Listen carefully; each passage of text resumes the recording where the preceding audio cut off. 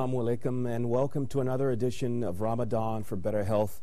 Uh, we appreciate you tuning into the program. We've been uh, having this program specialized to provide uh, medical information to help you be more successful in performing this very important pillar in Islam, fasting for the holy month of Ramadan.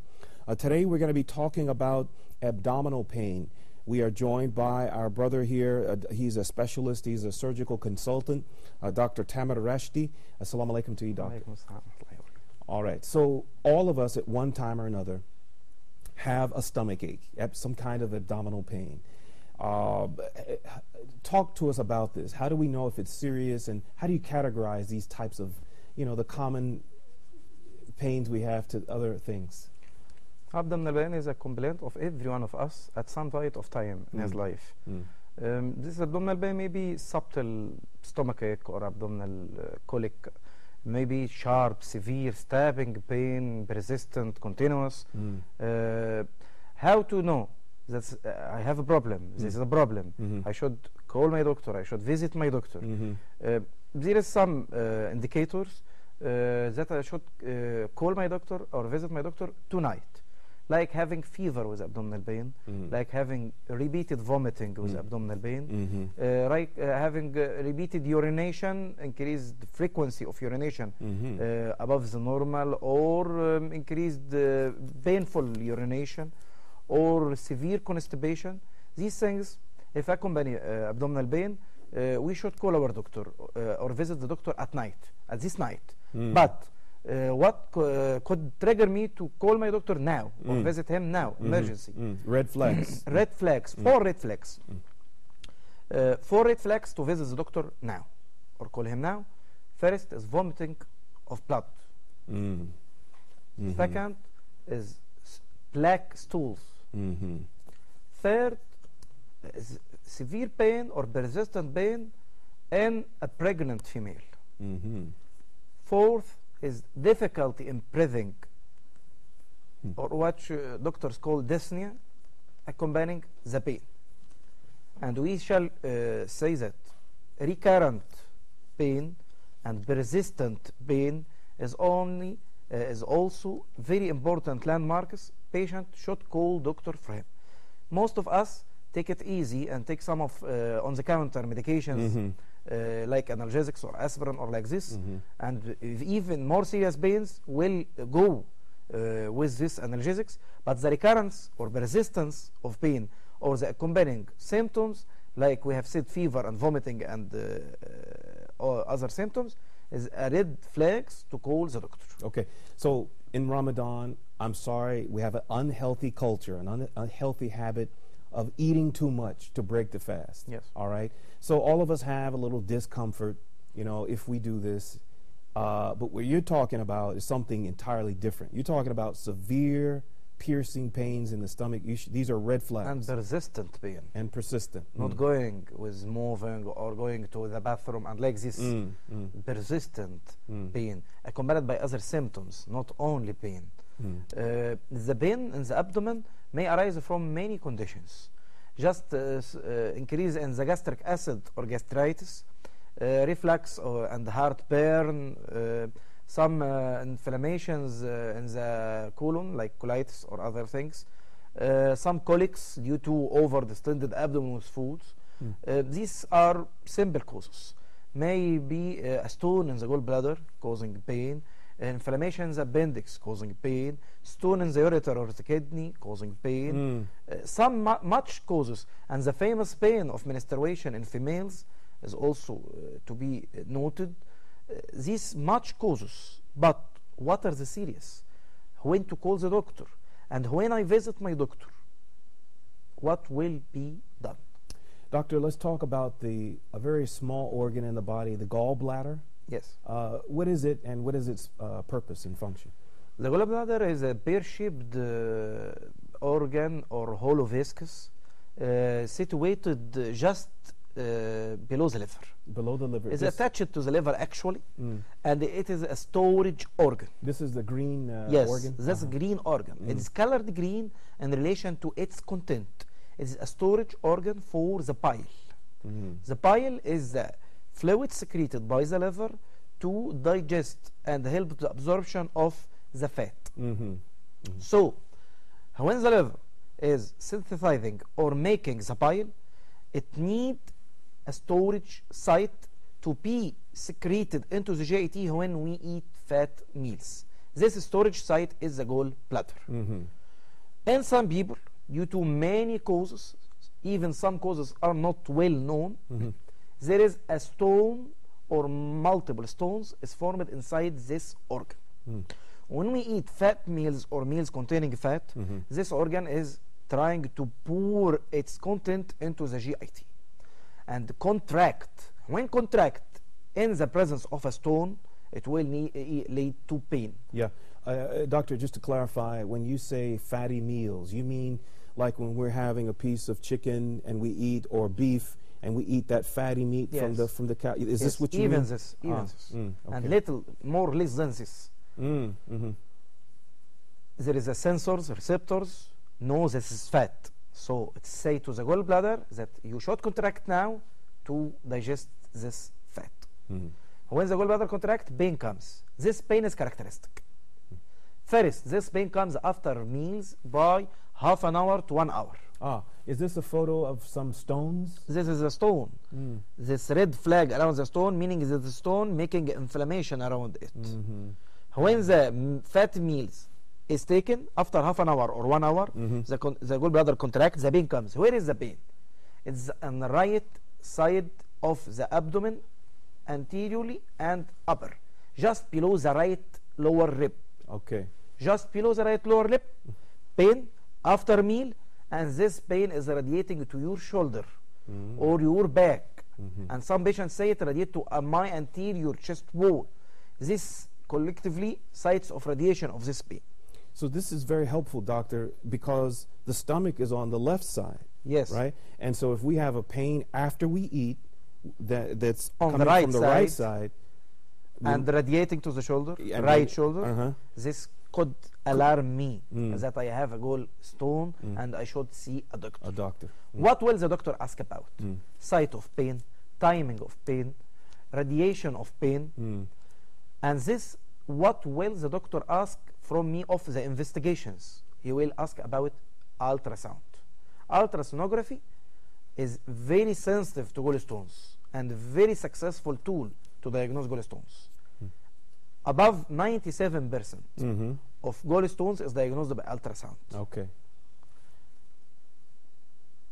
Now this is explaining the mechanism and how the bile is stored in the gallbladder. Now this fat particles will call the gallbladder through this enzyme CCK to pour its content through the gallbladder channels or the common bile duct into the duodenum to digest and to absorb the fat. Now the fat meets the bile in the duodenum Mm. and the absorption uh, continues for the fat. After asking for ultrasound by our doctor, he will see the gallstone. If there is a rule, gallstone plus symptoms, especially pain, Mhm. means until now surgery. Mm. Surgery. is there is any solution other than surgery, yes, there is medications Mm-hmm. like ursodeoxycholic acid. Mm-hmm.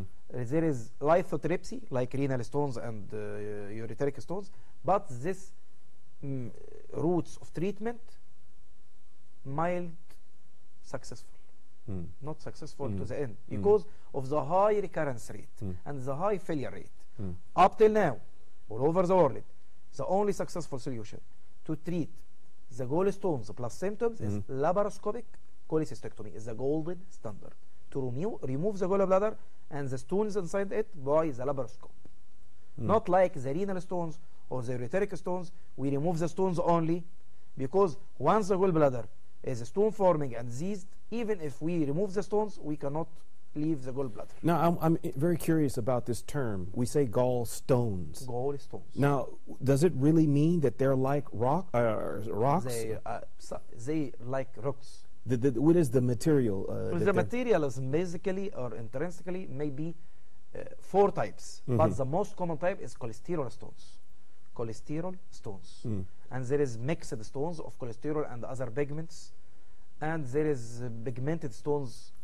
This much types, but the most common is the cholesterol and the mixed chole- cholesterol. So this is a connection to the fat that we consume, right? Yes, uh, but so, in some patients, even if they not consume much fat, they have these stones. Mm. There is a not there is no strong relationship creation between the intake and the formation I of see. I got it. I got Yes. it. So so they're made of cholesterol. What, what were the other materials? that you s- Pigments of the gallbladder uh, formed from degradation of some blood products and like this, Mm. and bile salts, some salts, and like this. Mm. So whatever the case, they're very uh, hard. Uh, Some of them very hard, some Oh. of them friable. This is mm, an example of one case. mm, this patient is is having a bag of stones wow. full of hard It's stones. full. but some patients may have one small stone Mhm. half centimeter and Mm. making the same symptoms Mm, and maybe even more uh, risky wow. That was. I think I saw the measurement was about six. Uh, is that centimeters? yes yes Ah. and uh, even some of them have one small stone three centimeters or four centimeters Wow. that's That's different from patient to patient Yeah, yeah. Wow. Okay. So uh, if we have, I think the brothers uh, have another uh, uh, photo uh, to show us. these are uh, gallbladder stones No, you should know that these stones and these gallbladder conditions affecting females much more than males, especially those females between the age of 30 and 40, and those with multiple children, uh, making pain. But we are not going to surgery only for pain. Mm, mhm. We are going to surgery for other uh, indications. Mm. Because these stones may harm the patient, big harm, other than pain, like pancreatitis, may cause inflammation of the pancreas, which may be very harmful to the patient, may cause obstructive jaundice, may make the patient yellowish discoloration and jaundice and harm the liver, Mm, mm. and may f- cause recurrent cholecystitis and the acute stage and fever and like this, making the yeah, yeah, life that- condition worse. that last photograph had different sizes. Were all those stones some the small black ones, and then these Yes, yes, really? yes. Wow, that was really big. Yes. Uh, when we come back, we want to continue. We're going to take a break right now. When we come back, Doctor, uh, uh, we'll ask him to uh, talk more about the surgical um, uh, interventions and uh, when the doctors and the patients decide together to do a surgical intervention. We'll take a short break and then come back with the rest of the program.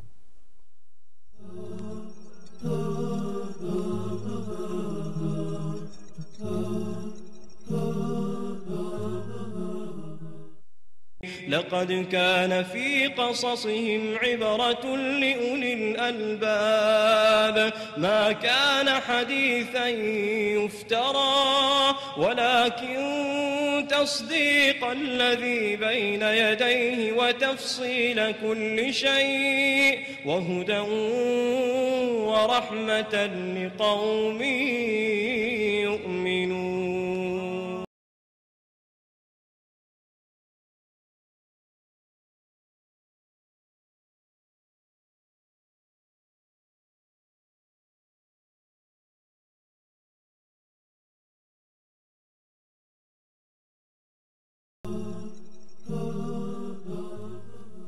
Salaam alaikum. Welcome back to the program. We are joined by Dr. Tamir. Uh, he is a, uh specialist, uh, a surgical consultant. We're talking about uh, abdominal pain, and the surprise is that all uh, sources or all root causes of abdominal pain is not the stomach.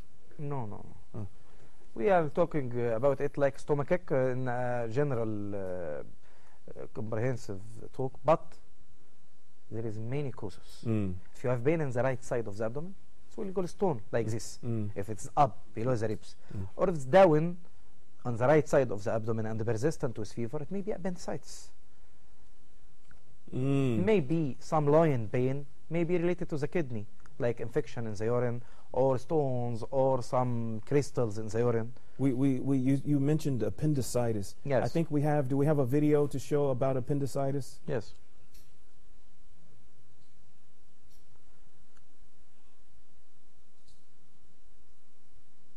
This is uh, inside the gallbladder? Or Yes, this is inside the gallbladder showing the stones mm. and the stone formation this one stone is going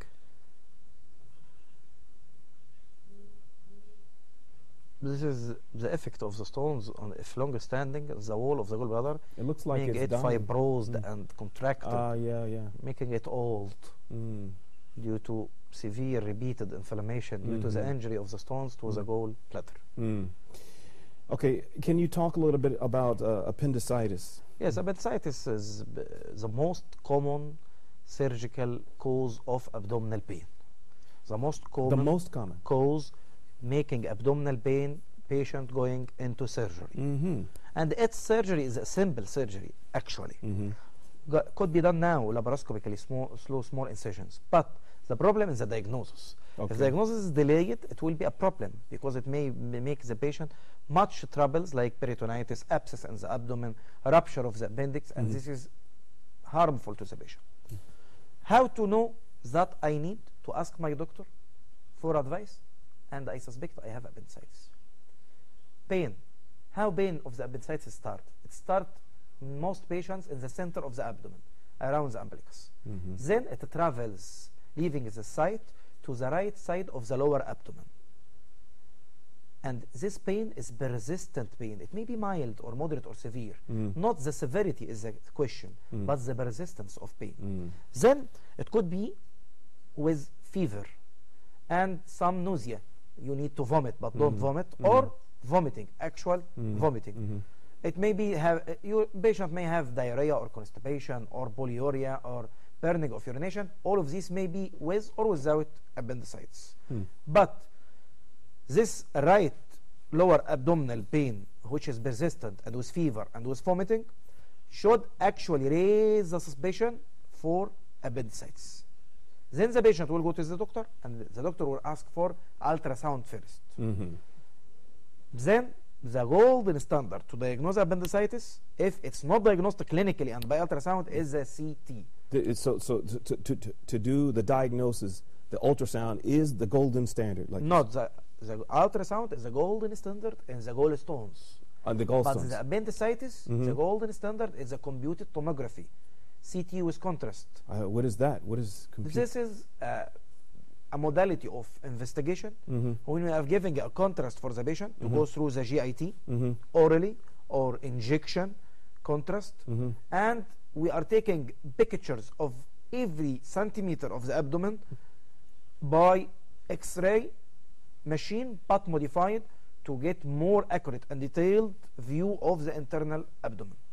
Okay, got it. So they, they consume or have injected a material. Material to be photographed by the I X-ray, I got it. Okay. but a specialized X-ray in cuts. Mm. So this computed tomography, tomo a cuts, like Cuts, cuts ah, ah. of X-ray, The brothers have a video or, or a visual for us to show when it's ready. We can uh, talk. Here it is. This is the GIT from the esophagus above till the end of it below, and showing the appendix on the right side, the most right side and lower down. The tiny. Uh, this tiny projection from the cecum. Mm, mhm. Small, maybe two centimeters in children, up to 10 centimeter in some adults. Mhm. And its caliber maybe between one or two centimeters, not more. Mhm. But it, during infection, it's distended, maybe full of pus, full of infection, Mm. and may rupture inside the abdomen of the Mm, patient. mhm. Once diagnosed, we shall go into treatment. The most common and the most applicable treatment worldwide is surgery to remove the appendix. Appen- uh, removal of the appendix may be done through an incision, a small incision, 2 centimeter or 3 centimeter, in the site of the pain, or done laparoscopically through two or three incisions, 1 centimeter each. This is the appendix shown in Ah, the picture Okay. okay. like small projection from the cecum. Cecum is a part of the right colon which is dilated. Eh, eh, eh, what about? Um, can it strike uh, anyone at any age, at any stage of life? It's very common in the middle age, Mm. between the age of 15 or 20 till the age of 40. Mm-hmm. But it's rare actually in the children group or the elderly group, but Mhm. it's occur. And every day we see cases. Mm-hmm. But it's rare. It's less common. The most common is the middle age group. So if we're over 40, Uh, does it mean, and we haven't had Not immune. this, Not immune against it. i- i- does it mean that uh, if we were going to have it, that we would have had it by now? Uh, if you're 45, 50 years Yes, old? even 60 or 70, Uh, some patients. mm, Should suspicion remain in the brain of the doctor? This is the Mm. site of the pain. He's catching his right lower uh, abdomen. so it's very intense pain, huh? Not in all cases. Not in all cases. Even renal colic pain caused by renal stones or crystals may be more and more severe. And more and more sudden. But our pain is persistent with a special site and a special accompanying uh, symptoms. Um, okay, so we, we've been talking about appendicitis. Um, and it's, uh, we have talked. is it, is it uh, the, w- once you do surgery, uh, the success rate, is it a high success rate? Yes, yes, it's simple surgery, Mm. done even by uh, less exper- expertise surgeons. Um, for uh, every patient, it gi- give good results and uh, without uh, complications, except in very few cases.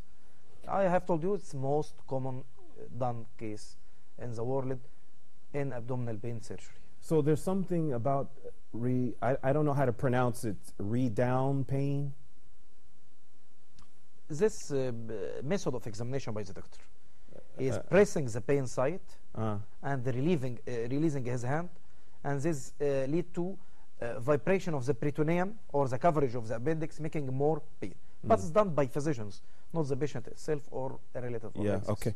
All right. Uh, so I think we, we, you know, we've been talking about uh, all these different s- sources that can cause abdominal pain. Yes, yes. We have talking now about two right-sided abdominal pains, Mm-hmm. uh, which are serious and need surgery. Mm-hmm. Uh, one of them needs surgery, not immediately, but within one week or two weeks or one month.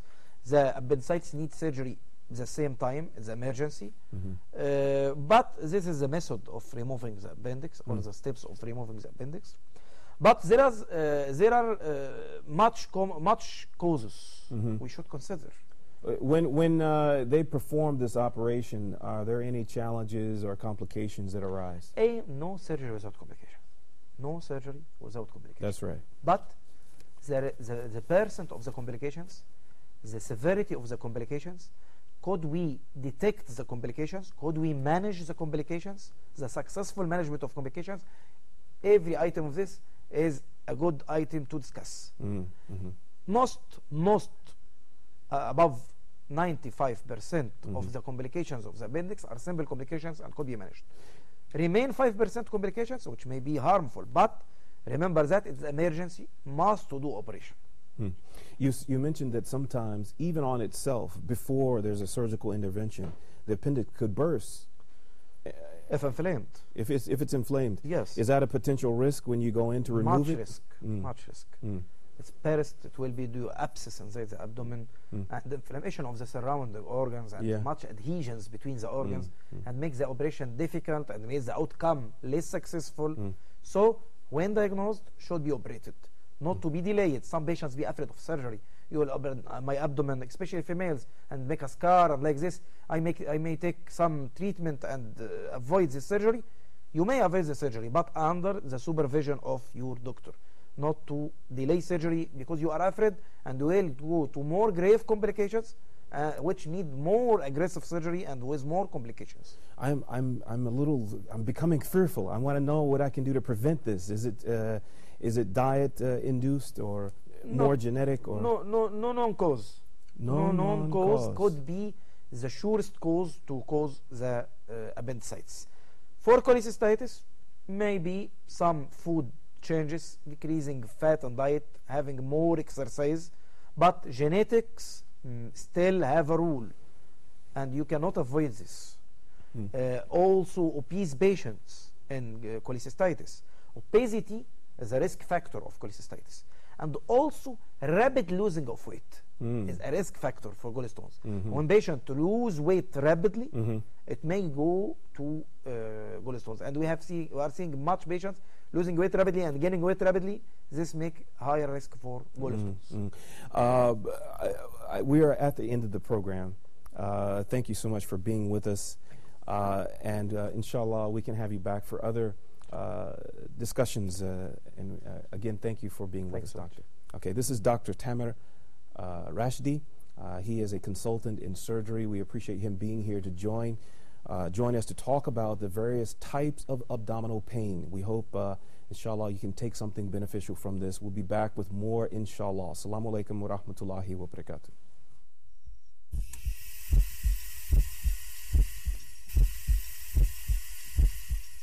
Oh, oh.